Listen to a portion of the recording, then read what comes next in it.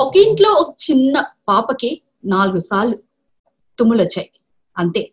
ఆ ఇంట్లో ఉన్న వాళ్ళందరూ కూడా హడావిడిగా పరుగులు తీశారు. ఎక్కడికో అందరికీ తెలుసు. హాస్పిటల్కి వెళ్ళారు. అందరూ కరోనా టెస్ట్ చేయించుకున్నారు. ఆ ఏడుగురికి కూడా కరోనా టెస్ట్లో నెగిటివ్ వచ్చింది. కానీ ఆ టెస్ట్ చేయించుకున్నప్పటి నుంచి కూడా ఆ రిపోర్ట్ వచ్చేంత వరకు కూడా ఆ ఇంట్లో అందరి మధ్యలో ఒకటే టెన్షన్ టెన్షన్ ఎవరికి పాజిటివ్ వస్తుందో లేకపోతే పాజిటివ్ వస్తే పరిస్థితులు ఎలా ఉంటాయో ఏ విధంగా ఎదుర్కోవాలో. ఆ నాలుగైదు రోజులు ఆ కుటుంబం మొత్తం పడిన వ్యధ బాధ అంతా ఇంత కాదు. అయితే ఇదంతా చూస్తుంటే ఆ జీవి ఈ మధ్య కాలంలో తీసినటువంటి కరోనా ట్రైలర్ ఎలా ఉంది. కానీ నిత్యం ప్రతి ఒక్కరి జీవితంలో ప్రతి ఒక్క కుటుంబంలో జరుగుతున్నటువంటి సన్నివేశం ఇది.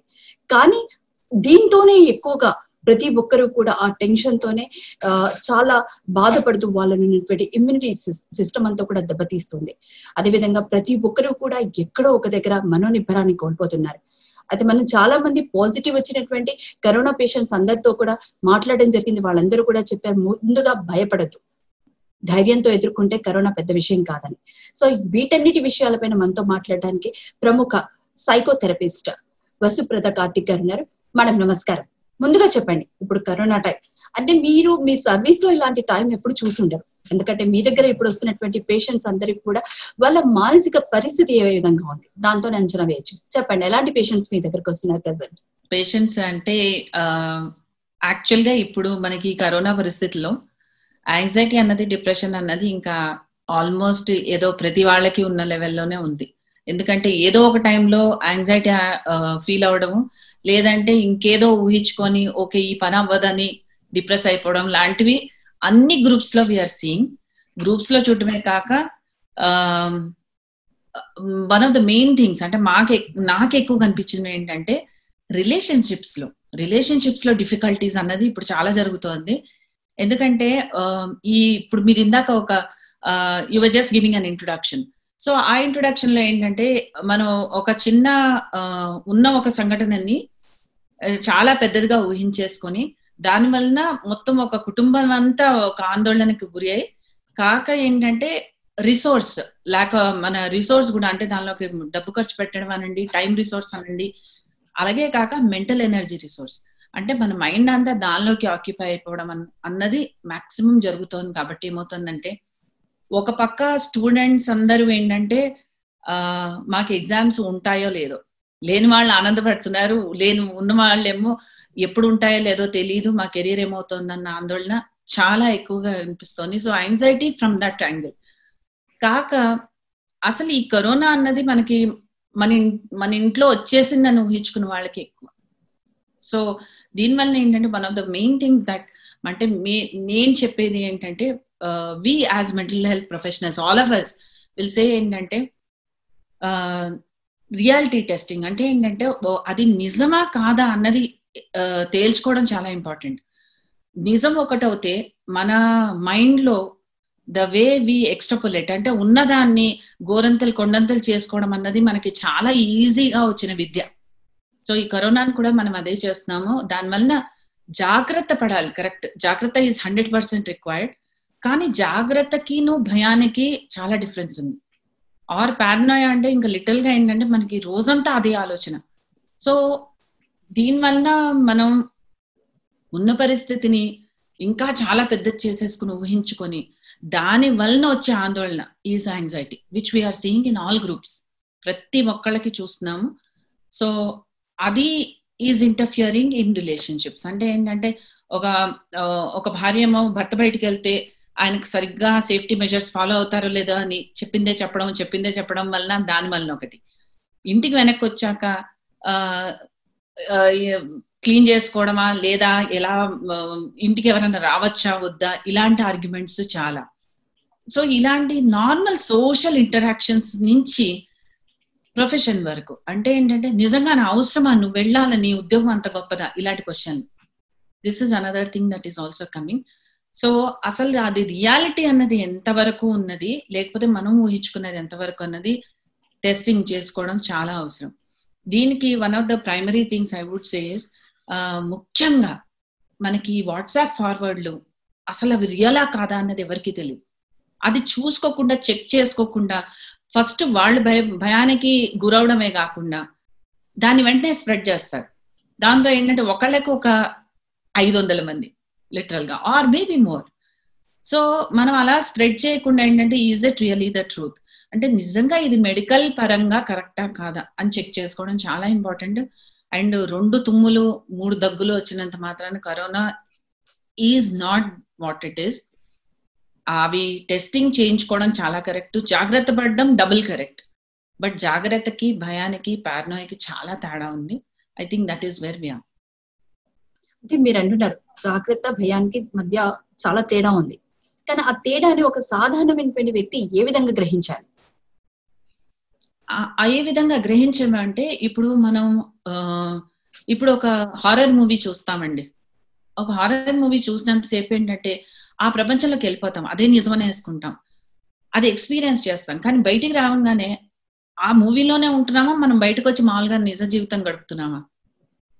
బట్ ఏమవుతోందంటే మనకి ఇక్కడ ఒక సైంటిఫిక్ దాని ఏదైనా రీసెర్చ్ తెలుసుకోవడమో ఇంకేదైనా లేకపోతే న్యూస్ ఐటమ్ రావడమో లేకపోతే ఏదో ఫార్వర్డ్ వచ్చినప్పుడు అది నిజమా కాదా అసలు చూసుకోవడం లేదు. కాక ఏంటంటే ఎవరికో వచ్చినది అన్నది మన నిజం అనుకోవడం.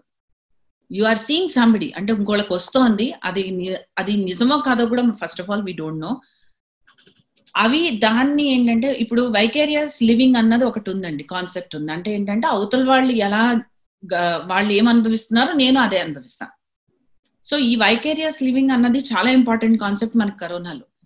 ఏమిటంటే ఒకప్పుడు ఏంటంటే మనం ఇంట్రెస్టింగ్గా ఏదైనా మంచి సినిమా చూసి అబ్బా హీరో ఆనందపడితే అబ్బాయిలు చూసి ఆనందపడడం అమ్మాయిలు ఏమో హీరోయిన్ ఆనందపడితే వీళ్ళు ఆనందపడతాం. అలాంటివన్నీ ఒక ఒక ఎత్తు అయితే ఇప్పుడు ఏమవుతుందంటే ప్రతి ఒక్క news item that we are seeing about corona. అది న్యూస్ చూస్తామో కాకుండా అది నిజమై ఉంటుంది వాస్తవమై ఉంటుంది. కానీ ఈ రెండు ఈ రెండు కాకుండా నా ఊహాలోకంలోకి నేను ఎంత వెళ్తున్నాను? ఈ ఈ వ్యత్యాసం తెలియట్లేదు ఎవరికి. సో ఏమవుతుందంటే చూసిందల్లా నాకే అయిపోయింది.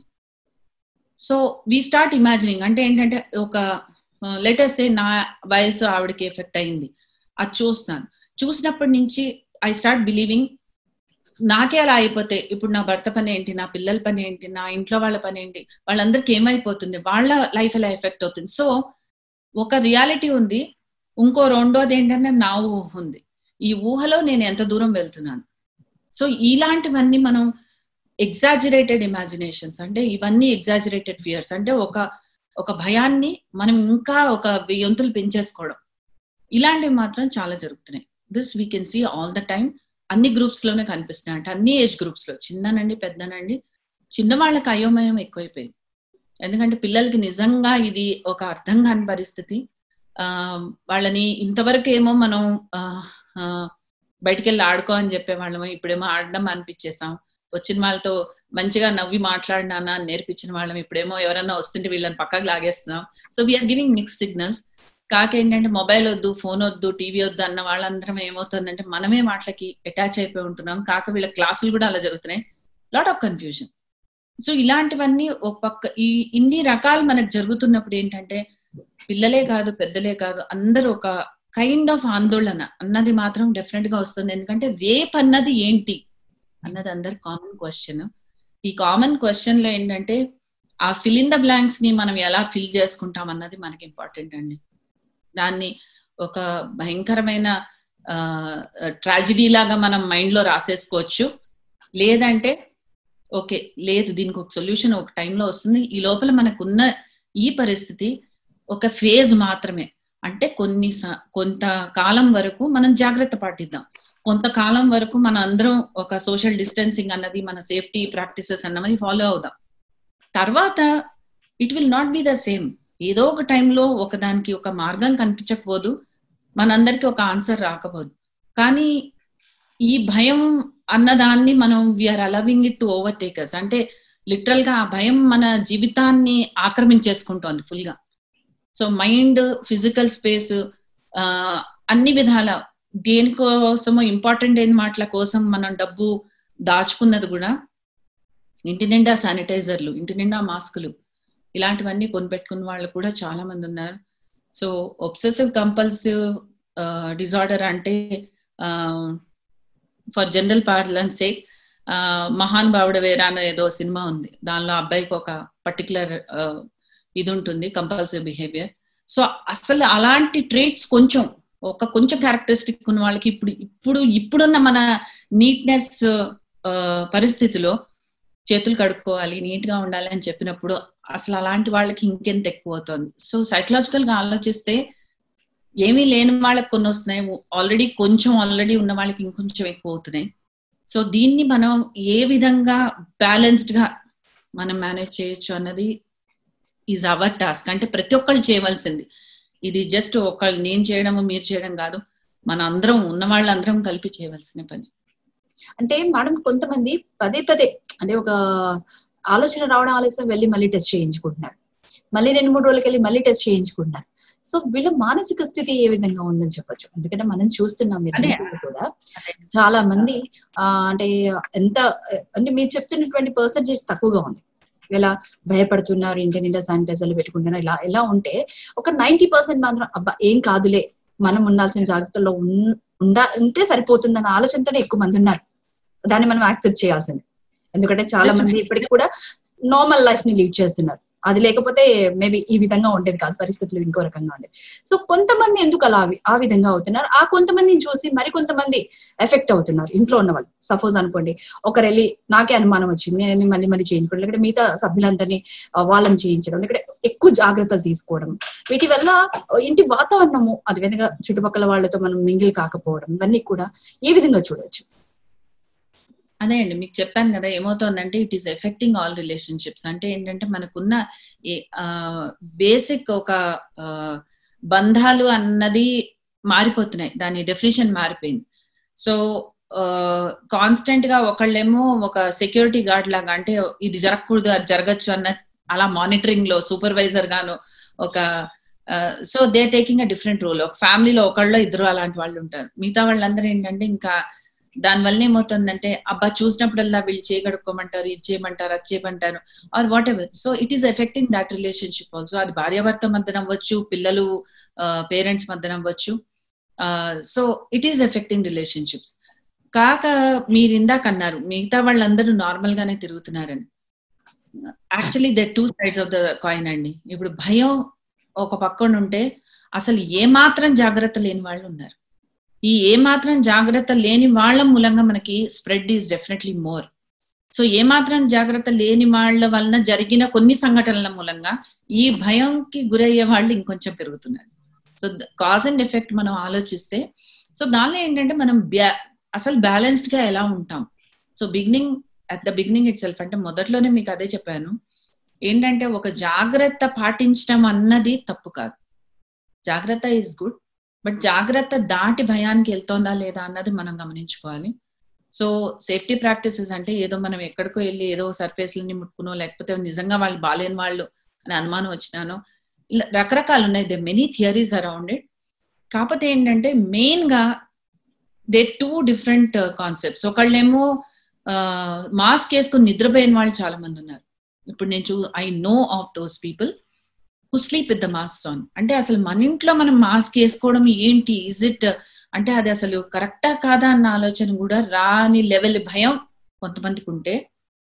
అసలు ఏ మాస్క్ లేకుండా క్రౌడ్స్లోకి వెళ్ళిన వాళ్ళు వేరే వాళ్ళు ఉన్నారు.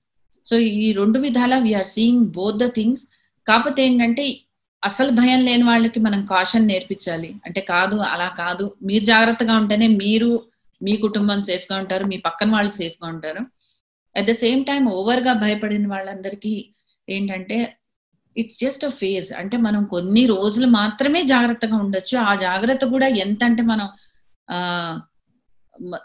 లిటరల్గా ట్వంటీ ఫోర్ అవర్స్ రోజు మొత్తంలో మాస్క్ ఇంట్లోనే ఉన్న వాళ్ళు వేసుకోవాల్సిన అవసరం ఉందా లేదా అన్నది తెలుసుకోవాల్సిన అవసరం చాలా ఉంది. దీనికి ఏంటంటే ఫస్ట్ ఈజ్ రియాలిటీ అండి. అంటే అది వాస్తవమా కాదా? అసలు మనకు ఆలోచన వచ్చింది. అది ఎంతవరకు కరెక్ట్ కాదు అన్నది మనం టెస్టింగ్ సింపుల్గా ఇప్పుడు నా టూ ప్లస్ టూ ఫోరా కాదా అని తెలియడానికి మనం రెండు వస్తువులు ప్లస్ రెండు వస్తువులు యాడ్ చేస్తే అది నాలుగో కాదో అని తెలుస్తుంది. సిమిలర్లీ ఇప్పుడు నాకు ఒక ఐడియా ఉంది. దాన్ని ఎలా మనం అసలు అది రియాలిటీయా కాదా అన్నది తెలుసుకోవాలంటే అది మనం ఇక్కడ అంత ఈజీగా తెలుసుకోగలిగింది కాదు కాబట్టి భయం ఎక్కువ. అంత ఈజీగా మనకి ఏమి ఎదుర్కొన్న ప్రూఫ్లు లేవు. అండ్ సో దాంతో ఏమవుతుందంటే సేఫ్టీ ప్రాక్టీసెస్ కేవలం మనకి ఎవరు ఏమి అడ్వైస్ చేస్తున్నారు? బేసిక్ రోజంతా వీళ్ళకి భయానికి కారణం కూడా ఇంకొకటి ఏంటంటే కొంతమందికి న్యాచురల్గా ఫియర్ ఆఫ్ డెత్ అంటే ఏంటంటే ఆ ఫియర్ ఆఫ్ డెత్ ఉన్న వాళ్ళు అసలు నిజంగా ఈ వార్తల్ని ఎక్కువ చూడడము ఎక్కువ తెలుసుకోవడం అవసరం లేదు. ఈ కరోనా అన్నది మనకి ఇంకా కొన్ని నెలలు ఉంటుందో ఎన్ని రోజులు ఉంటుందో మనకి ఎవరికి తెలియదు. కాకపోతే ఏంటంటే ఈ ఆలోచనలో మాత్రం ఇంకో వందేళ్ళు ఆల్రెడీ నేను దాంతోనే ఉంటున్నా. సో అలా కాకుండా ఏంటంటే నా పక్కనున్న నా కుటుంబంతో how can I be normal under these circumstances ఉన్న ఈ టైంని నేను ఎంత బాగా ఉపయోగించుకుంటున్నా? లాక్డౌన్ లాక్ ఈ లాక్డౌన్ అంతా లాకప్ అనుకున్న వాళ్ళు చాలా మంది ఉన్నారు they're completely unhappy with it కానీ ఏంటంటే అదే కొంచెం ఒక పాజిటివ్ అవకాశంగా తీసుకుని కొన్ని డెవలప్ చేసుకున్న వాళ్ళు కూడా ఉన్నారు. సో ఇలా ఏంటంటే మనం దీనివల్ల మనం నేర్చుకున్నది ఏంటి అంటే మనం జాగ్రత్తగా ఉండడం నేర్చుకోవడం ఒకటి. ఇంకొకటి ఏంటంటే ఒక ఒక కంప్లీట్ అడ్వైజ్ ఒక రూల్ వచ్చింది అనుకోండి. మన నార్మల్ టెండెన్సీ ఏంటంటే ఆ హెల్మెట్ వేసుకోమని చెప్తే అది వేసుకోకుండా వెళ్తే గొప్ప అనుకోవడం మనకు చాలా అలవాటు. It is the usual process so దాన్ని అలాగే వెళ్ళిన వాళ్ళు మాత్రం కరోనా కరోనాని చూసి చాలా భయపడుతున్నారు. సో అసలు నిజంగా అయితే హెల్మెట్ వేసుకోకుండా వెళ్ళి ఒక యాక్సిడెంట్ అవుతే ఎంత ఘోరమో అది ఎవరు ఊహించట్లే కానీ ఈ ఊహాలోకంలో ఉన్న కరోనాని మాత్రం చాలా పెద్దగా ఊహించుకుంటున్నారు. So that is something we can avoid అంటే uh, అంత అవసరం లేదు. మన జాగ్రత్తలు మనం పాటించి మనం కరెక్ట్గా ఉన్నప్పుడు ఆ డిజీజ్ um, uh, దాని ప్రోగ్రెషన్ అన్నది ప్రతి వాళ్ళకి ఒకేలాగా వస్తుందని కూడా లేదు. ఇప్పటివరకు మనకి రీసెర్చ్ ఇస్ ప్రూవింగ్ అంటే మన దగ్గర ఉన్న డేటా బట్టి. సో Um, కొంతమంది చాలా మంది also reach out to us వాళ్ళు పాజిటివ్ అయ్యి హోమ్ క్వారంటైన్ అనండి. అలా ఉన్న వాళ్ళందరూ కూడా దే రీచ్ అవుట్ వాళ్ళందరూ బాగానే ఉన్నారు కదా. మరి అవి those are the things that they need to know success stories తెలియాలి. సో ఏ నిజంగా భయం పోగొట్టుకోవాలి. లేదు నాకు ఇదే కాన్స్టెంట్ ఒబ్సెషన్ అంటే ఈ ఆలోచన నుంచి నేను బయటపడలేను అన్నప్పుడు రాంగ్ వి అంటే మనకి ట్రా ఫెయిల్యూర్ కేసెస్ అంటే అక్కడి నుంచి వాళ్ళు బయటికి రానివి కాకుండా సక్సెస్ఫుల్గా బయటికి వచ్చిన వాళ్ళు అంటే ట్రీట్మెంట్ సక్సెస్ఫుల్ అయింది. వీళ్ళు పాటించిన ప్రతి ప్రోటోకాల్ సక్సెస్ఫుల్ అయింది అని ఎన్ని స్టోరీస్ వాళ్ళకి తెలిస్తే అంత మంచిది. యాక్చువల్లీ అవి ప్రమోట్ చేయాలండి. That is the main thing మనం ఏం చేస్తున్నామంటే we're also seeing more of the negative side of it where it is not effective so అవి చూసినంత సేపు ఏంటంటే ఇప్పుడు నాకు కొంచెం భయం ఉందనుకోండి. నాకు కారణం ఎక్కువ కనిపిస్తోంది. సో నా భయం ఇంకా పెరిగిపోతుంటుంది. వేరే లేదు ఇలా కాదు నువ్వు ఇలాగా దీనిలో కూడా సక్సెస్ స్టోరీస్ ఉన్నాయి. మనుషులు ట్రీట్మెంట్ కరెక్ట్గా తీసుకుని కొన్ని అన్ని ఫాలో అయిన వాళ్ళందరూ బాగానే ఉన్నారు బయటకు వస్తున్నారు. అని తెలిసినప్పుడు ఏంటంటే జాగ్రత్తలుగా ఉండాలి. అట్ ద సేమ్ టైం మనకు ట్రీట్మెంట్ అవైలబుల్ మనకు ఈ పరిస్థితిని మనం మేనేజ్ చేస్తాము అని తెలిసింది అనుకోండి యూజువల్గా ఆ అలాంటి డిస్కషన్స్ ఇంట్లో ఎక్కువ ఉండాలి. దట్ ఈస్ హౌ పాజిటివ్నెస్ని పెంచే విధంగా సక్సెస్ స్టోరీస్ చెప్పుకోవడం కానీ పాజిటివ్ నుంచి వచ్చినటువంటి పర్సన్స్ గురించి డిస్కస్ చేస్తే ఇంట్లో ఇట్లాంటి వాతావరణం నుంచి బయటికి రావచ్చు అంటారు డెఫినెట్గా అండి. ఎందుకంటే ఇప్పుడు మనకి పాజిటివ్గా సక్సెస్ స్టోరీస్ లేకుండా అయితే లేవు. We all know it and అవి కొంచెం అవి గుర్తు పెట్టుకోవడం అవసరం. అసలు వాటి గురించి తెలుసుకోవడం అవసరం వాటి గుర్తు పెట్టుకోవడం అవసరం. లేదంటే ఏంటంటే ఒక సిస్టమ్ మీద అపనమ్మకం ఒక హెల్త్ కేర్ సిస్టమ్ మీద అపనమ్మకం. చూసిన ప్రతి వాళ్ళు ఒక కోవిడ్ క్యారియర్ అన్న ఒక భయం ఇలాంటివన్నీ ఏర్పడుతుంతో ఏమవుతుందంటే నా ఎదురుకుండా ఉన్న జీవితాన్ని నేను అసలు క్లియర్గా lead చేయలేకపోతున్నా. So that is the main problem with what we have today. అది దాన్ని మనం ఎదుర్కోవాలంటే లేదు. మనం జాగ్రత్త పాటించిన వాళ్ళు జాగ్రత్తగానే ఉన్నారు. బికాజ్ అది మనం ఈజీగా ప్రూవ్ చేయొచ్చు. బికాస్ నిజంగానే అంత లెవెల్లో మనకు వచ్చేస్తున్నాయి అంటే లేవు. అలా కాదు కదా. అందరు quite of you are fine and uh, బాగానే ఉన్న వాళ్ళు ఒక ఎత్తు. కాక అసలు పాజిటివ్ అయిన వాళ్ళు కూడా మళ్ళీ ట్రీట్ అయ్యి ఎలా బయటకు వస్తున్నారు సో ఇవి కూడా మనం తెలుసుకోవడం అవసరం వాళ్ళకి చెప్పడం అవసరం. సో ఒక ఫ్యామిలీ మెంబర్ కంటిన్యూస్గా నెగిటివ్ పిక్చర్ నే ఫాలో అవుతుంటే దాన్ని బ్యాలెన్స్ చేయడానికి కొంచెం పాజిటివ్ పిక్చర్ కూడా ఇంకొకళ్ళు ఫాలో అయ్యి దీనికి దానికి ఒక కౌంటర్ అంటే న్యూట్రలైజింగ్ ఫోర్స్ అలాంటివన్నీ మనం కొంచెం maybe it's important to have ఇలాంటి uh, వార్తలు కొంచెం ఎక్కువ తెలియవలసిన అవసరం కూడా ఉందేమో అనిపిస్తుంది నాకు. మా ఎగ్జాక్ట్గా మీరు చెప్పిన ఈ పాయింట్ చుట్టే తిరిగితే మనం చూస్తున్నాం. అంటే uh, కరోనా జయించిన నూట అరవై ఏళ్ళ భామ కరోనా జయించిన one not nine years uh, పెద్ద ఆయన ఇట్లా వస్తున్నాయి కొన్ని. వాట్సాప్లో అవి కూడా తిరిగిన అయినా కానీ కొంతమంది అంటే ఇంకా కరోనా టెస్ట్ ఇచ్చాము కానీ కరోనా వచ్చిందో లేదో కూడా తెలియదు. ఈ మధ్య కాలంలో చూసాం. మంచి యువత ఇద్దరు ముగ్గురు సూసైడ్ చేసేసుకున్నారు. సో ఎలా వాళ్ళ అంటే ఆలోచన ఎందుకు అలా వస్తుందంటే?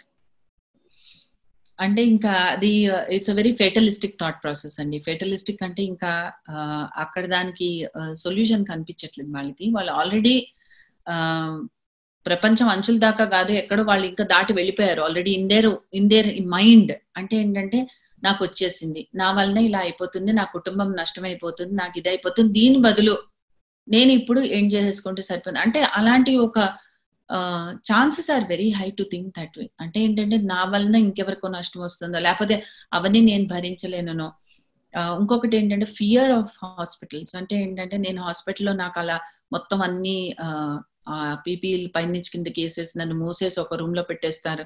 ఇలా చెప్పిన వాళ్ళు కూడా చాలా మంది ఉన్నారు. They are also very scared of it అంటే దానిలో ట్రీట్మెంట్ జరుగుతోంది అన్నది మర్చిపోయి మిగతా అవన్నీ గుర్తుపెట్టుకుంటారు అనమాట సో ఫిల్టరింగ్ అండ్ uh, ఆ ఫిల్టరింగ్లో ఏంటంటే మనకి రాంగ్ వి గుర్తెక్కుంటాయి రైట్ గుర్తుండవు.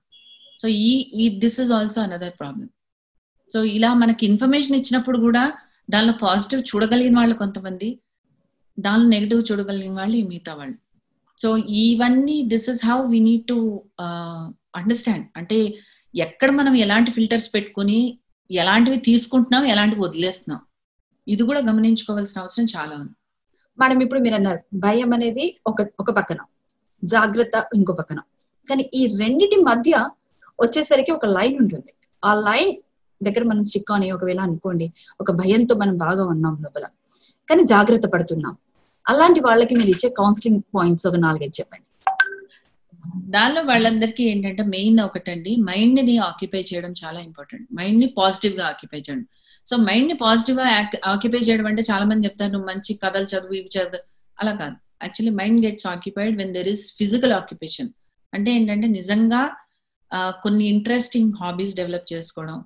అంటే నాకు ఒక డిస్ట్రాక్షన్ ఒక పాజిటివ్గా చిన్న some of the groups we already told them also ఏమనంటే చిన్నప్పుడు ఏదో నేను చేద్దాం అనుకున్నాను. టైం కుదరలేదు. పక్కకి వెళ్ళిపోయి అలాంటి ఇంట్రెస్ట్లు ఇప్పుడు కొంచెం టైం దొరుకుతోంది మనుషులకి.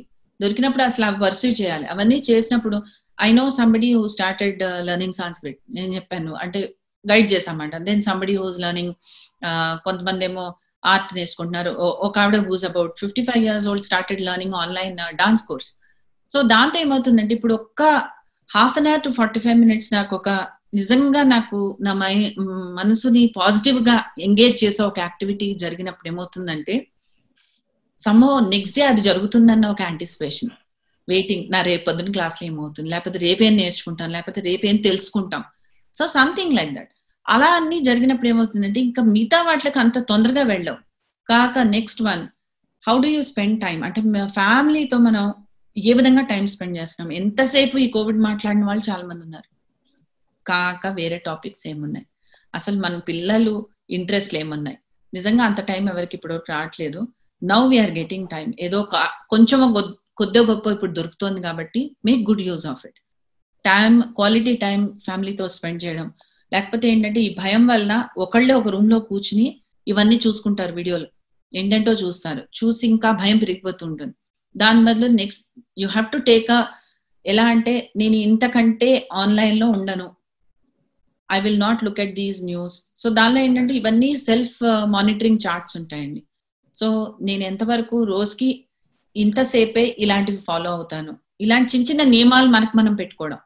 దాంతో ఏమవుతుందంటే అవి పెట్టుకున్నాక నెక్స్ట్ టైం అంతా ఏం చేస్తాం? మిగతా మిగిలిన టైం అంతా ఏం చేస్తామంటే సంథింగ్ మోర్ ఇంట్రెస్టింగ్ మేబీ నాకేదో ఒకప్పుడు ఏదో వన్ కైండ్ ఆఫ్ నావెల్స్ చదవాలని ఉంది అప్పుడు కుదరలేదు. ఇప్పుడు చూడాలి అన్న ఆన్లైన్ అవైలబుల్ ఉన్నాయి? చాలా అవైలబుల్ ఉన్నాయి. సో ఇలాంటి ఇవన్నీ మనం చేయగలుగుతున్నామా? వాట్ ఆర్ ద పాసిబిలిటీస్ లేదు. మనుషులు లేని ప్రదేశం కొంచెం దూరంగా వెళ్ళండి. సిటీ బయట బోల్డ్ అని ఉన్నాయి ట్రెక్కింగ్ చేయొచ్చు.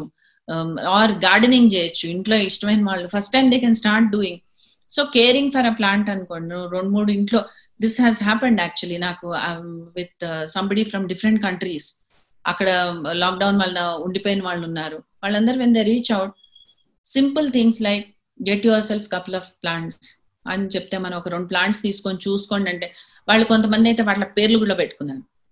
They started taking care of them like small children so అలా ఏంటంటే మీకు మైండ్ ఆక్యుపై విధానం చాలా అంటే మనం క్రియేటివ్గా ఆలోచిస్తే చాలా ఉంటాయి.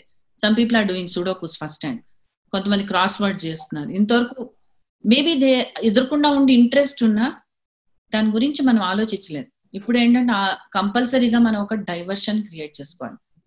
సో కొంత చాలా క్రియేటివ్గా కొంతమంది ఫ్యామిలీ గెట్ టుగెదర్స్ యాక్చువల్లీ భయానికి మొత్తం విత్డ్రా అయిపోయి అసలు ఎవరితో మాట్లాడిన వాళ్ళు వాళ్ళ ఇంట్లో వాళ్ళు ఇలా మెల్లగా ఏంటంటే ఓకే ఆ దేశంలో ఉన్న ఫ్యామిలీ మెంబర్స్ వీళ్ళు వాళ్ళందరూ కలిపి ఇప్పుడు Zoom meetings thankfully we're able to meet online so ఏంటంటే ఒక గెట్ టుగెదర్ లా పెట్టి వాళ్ళు పిలిచినప్పుడు వీళ్ళు బలవంతంగా ఇంటరాక్ట్ అవ్వాలి కదా.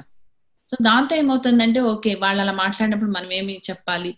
సో ఫర్ దట్ సేక్ ఒక వారంకో పది రోజులకో ఒకసారి online meeting of friends or family ఇలాంటివన్నీ ఉంటే ఏంటంటే న్యాచురల్ మనం ఒక న్యాచురల్ వేలో వాళ్ళని we're keeping them on track so thank you thank you so much so మొత్తానికి చూసుకుంటే అతి జాగ్రత్త అతి భయం. ఇవన్నీ పక్కన పెడితే ముందుగా మనల్ని మనం కొంత డైవర్ట్ చేసుకుంటే సాధ్యమైనంత వరకు కరోనాని ఒక మెట్టు జయించినట్టే అవుతుంది.